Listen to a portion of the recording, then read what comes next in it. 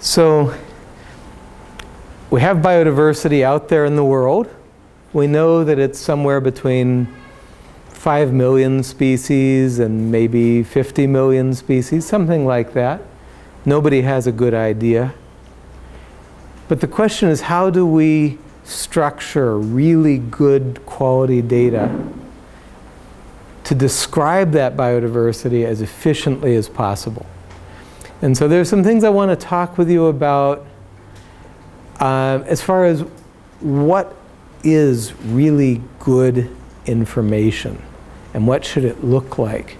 And what can you look for when you see a new initiative or a new idea and you need to decide is this worth my time or is this not worth my time? Okay?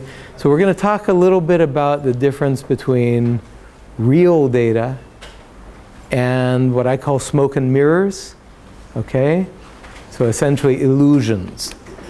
So we can call this field biodiversity informatics. The applications of informat informatics techniques to biodiversity information for improved capture management, improvement, analysis, and interpretation.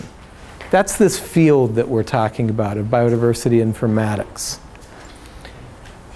Now, John next is going to give you a detailed presentation of this idea, Darwin Core. Uh, there's some really interesting aspects of it.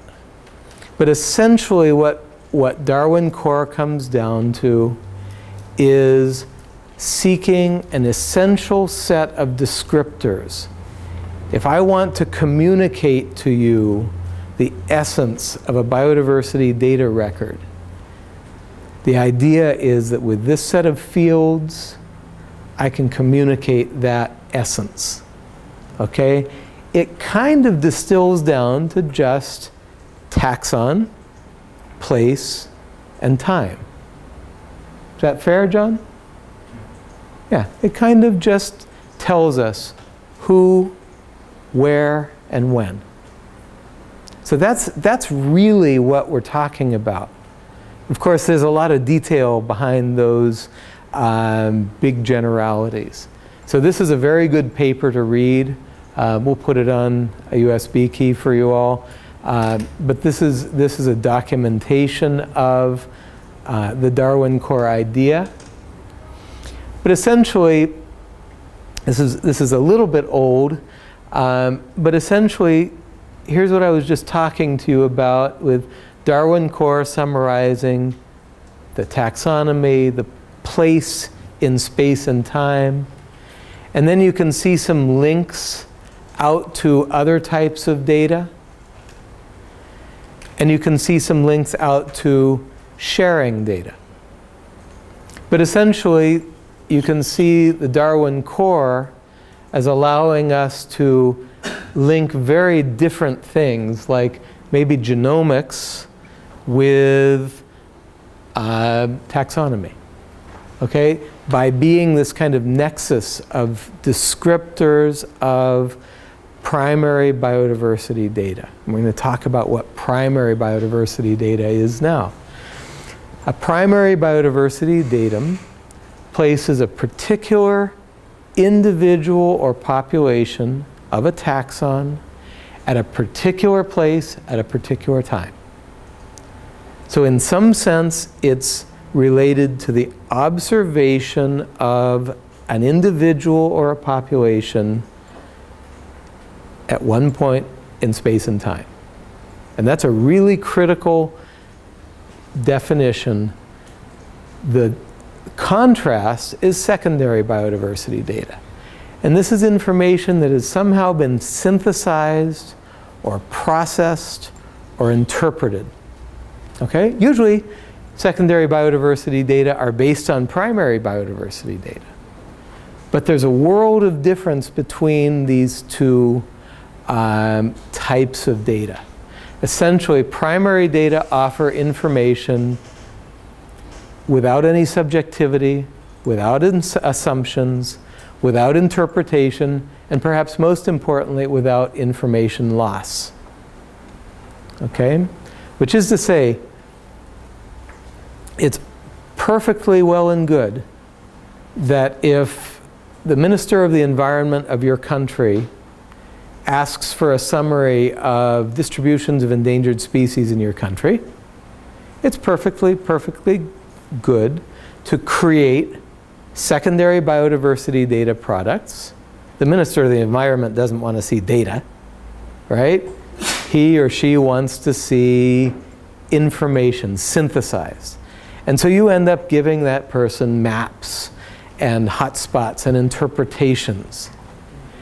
And that does, in some sense, describe where the species is or the species are, but there's a lot of interpretation in there. If we're talking amongst scientists, like the people in this room, we want that unitary, fundamental, primary data. Okay? Because that doesn't depend on the assumptions and on the interpretation. Another set of qualities that's, that's very well connected to primary versus secondary is what I would call research grade data. Okay? So this is data that is of sufficient quality that you can base publishable, you know, cutting edge research on those data. Um, what you will find is that biodiversity information is often converted to secondary information. I'll call it dumbed down, right? There's a lot of information content in the label of, you know, each insect in the collection or each herbarium sheet. And in some sense, when initiatives aim to share information, sometimes they fall into the trap of simplifying, organizing, synthesizing, interpreting, summarizing. And that's all great for the policymakers, for the decision makers, for the general public. But scientists need research grade data. Okay? We don't need that interpretation. We want to do our own interpretations. So the idea, and this is essentially something I want you to think about when you look at the broader world of biodiversity informatics. Some of the things that you look at, if you think about it really hard, you're going to say, that's secondary information. That's not primary. Or you're going to say, that's not research grade data. Okay? So real improvements to biodiversity informatics in infrastructure will have these kinds of qualities. You know, this is not my usual style, you know, effective, efficient, novel, inspiring. But the idea is very, very important. Real improvements to our data world as scientists indeed need to be effective and efficient. They need to be founded on primary research grade data.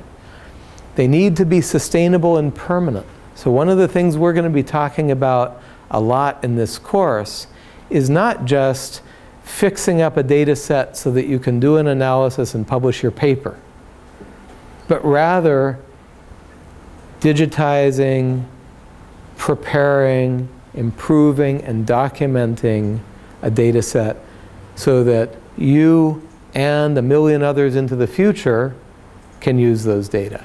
So sustainable and permanent, reliable, publishable, remember we talked about that, but also these crazy things like novel and inspiring. Really good data will end up producing future science just because those data are so information rich. So that's, a, that's kind of a set of qualities that we should always be thinking about. So I want to give you two examples. Okay? And I have the bad habit of speaking my mind. It gets me in trouble a lot. So here we go. Okay? Here's National Science Foundation website. We have an award of almost a half million dollars. And the name of the project, Map of Life, an infrastructure for integrating global species distribution knowledge. Am I going to get myself in trouble, John? Of course. Okay. So that sounds great, right? Global species distribution knowledge, map of life. This sounds wonderful. So I go to their site and I took a very, very typically African uh, species, of course a bird because I'm an ornithologist.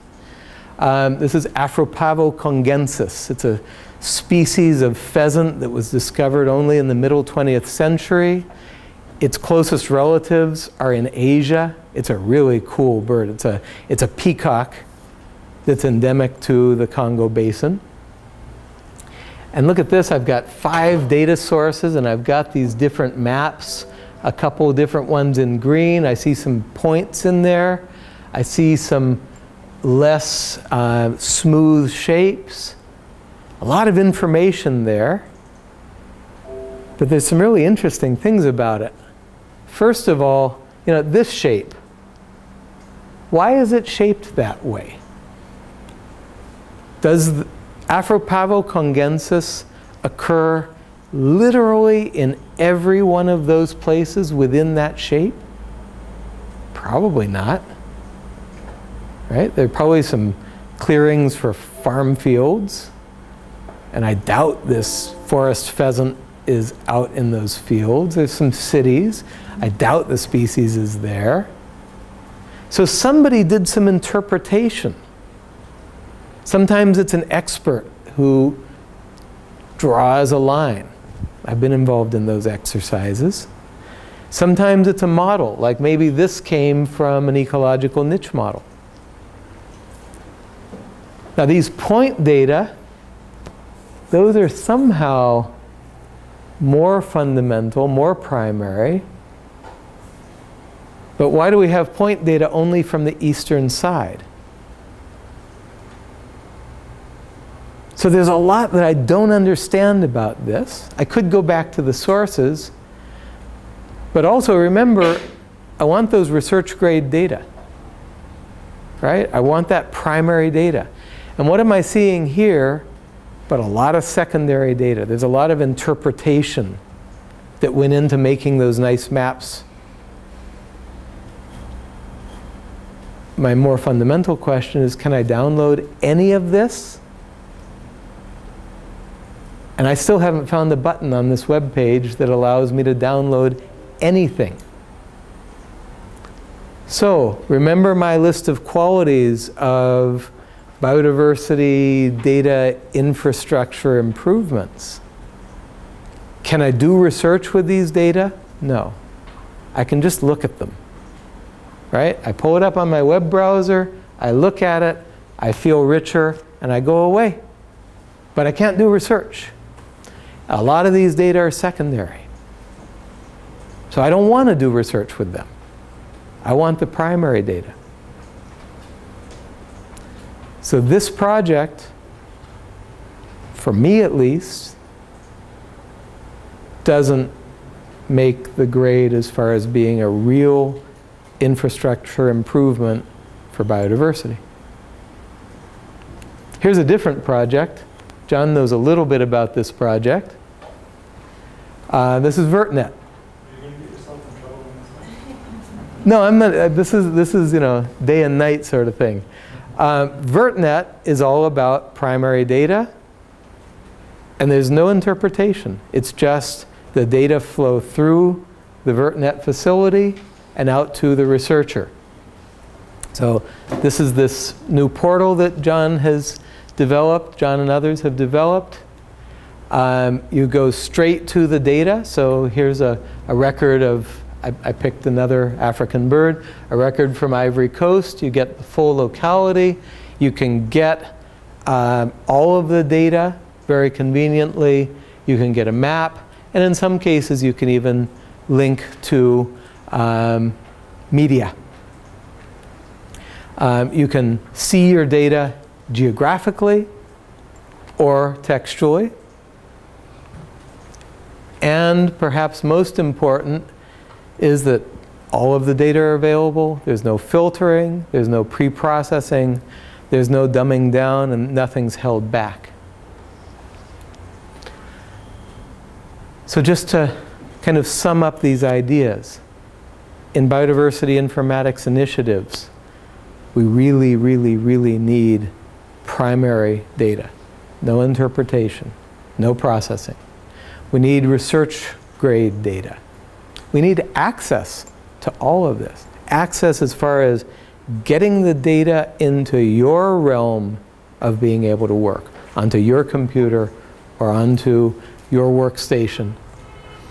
So we're really looking for genuine infra infrastructure improvements that make a difference to research and that aren't just what we call smoke and mirrors, illusions. Something that you can look at, and then when your internet connection goes away, so do the, the data.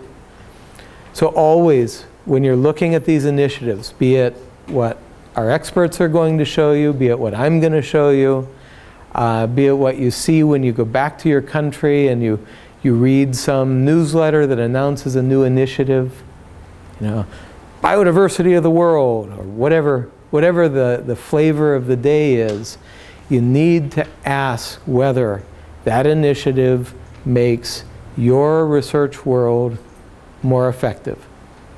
Okay? So that's just kind of a commentary about why are we doing this.